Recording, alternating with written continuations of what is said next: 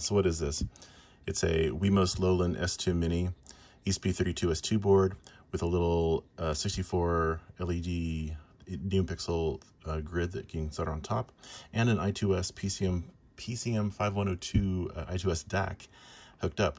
And this is essentially a small evolution of the little sketch I did about uh, a year ago where you had colored balls bouncing around on this grid, and when they hit the edge, they would emit a MIDI note.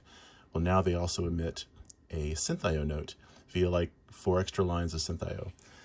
So uh, yeah, it's a, it's a great little, and it all runs self-contained from a battery driving a speaker directly.